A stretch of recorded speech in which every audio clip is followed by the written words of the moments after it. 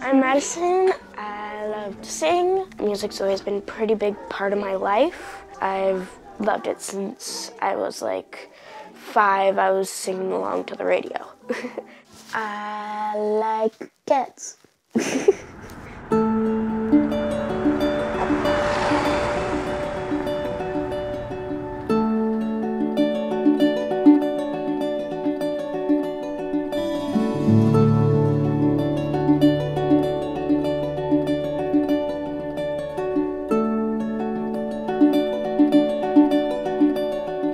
Madisen has osteogenesis imperfecta and epilepsy.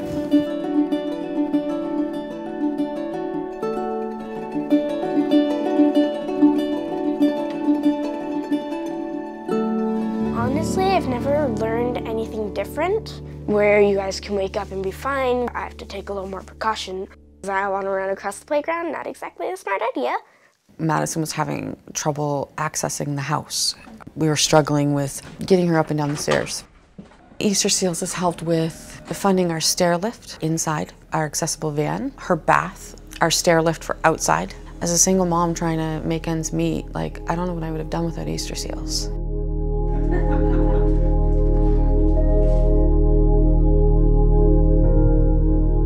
Her bedroom is her safe place. That's where she goes to get away from the world, and the hospital bed's changed her life. It's given her so much comfort. I can't stress how important that part of our funding has been. So we were one of the very lucky ones, but I know so many people who have not been that lucky. You worry all the time. You worry about the doctor's diagnosis, outcome, and what the future is going to look like. Add the stress of the financial burdens of the cost of kids with special needs. Many nights we've stressed and many nights I've cried because I, I can't feel like I can give her everything she needs.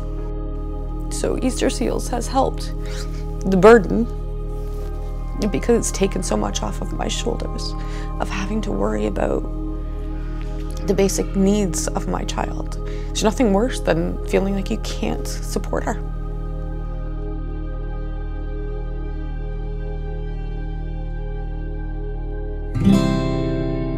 I'm really no different than how you are, want to be included like you are, and I'm the same person.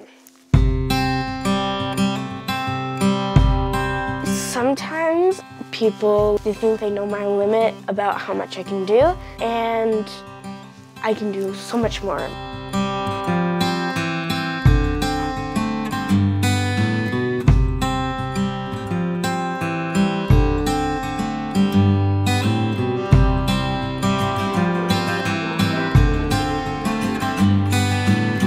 She's been through enough that she is going to show the world that she's strong and she is going to make something of her life. And I really, truly believe she will.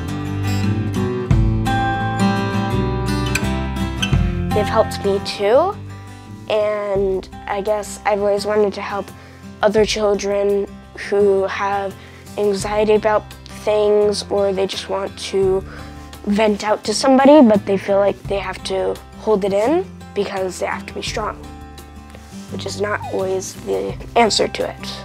I have no doubt that one day she will be working in a hospital and she'll be working with kids and she'll do an amazing job and she'll meet lots of connections and she'll make lots of changes to little lives. I really do feel that will happen.